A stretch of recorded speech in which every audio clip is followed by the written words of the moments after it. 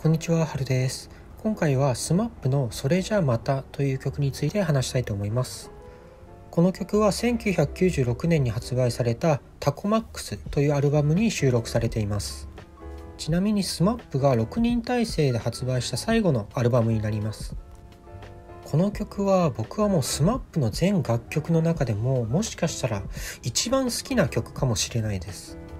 この曲はもう何と言っても歌詞が最高なんですよね。作詞をされたのは小倉めぐみさんという方で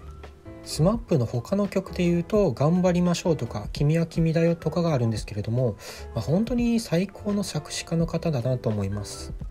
好きな歌詞とか印象的な歌詞っていうのをまとめて見てもらおうかなと思ったんですけれどもこの曲は僕はもう最初から最後まで本当に全ての歌詞が好きなんですよ。人生の全てがこう凝縮されて一曲にまとめられてるような気がするんですよね。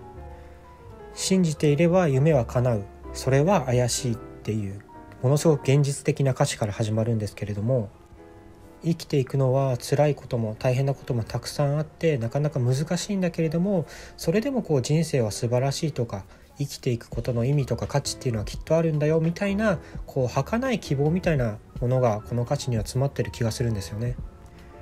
こう頑張れみたいな無理なメッセージソングとかではなくもっと体の力を抜いて気楽に自分らしく生けば生きていけばいいんだよみたいなそういった歌詞とかっていうのは SMAP の90年代の曲に特に多いですよね。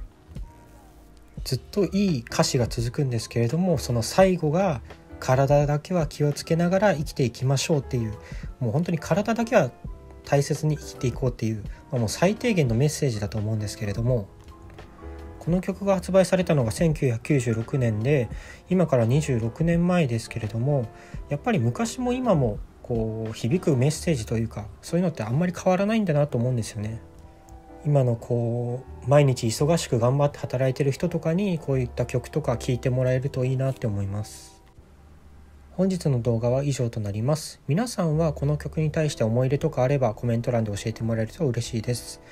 本日の動画良かったよという方は高評価とチャンネル登録もお願いします。本日もご視聴ありがとうございました。ではまた。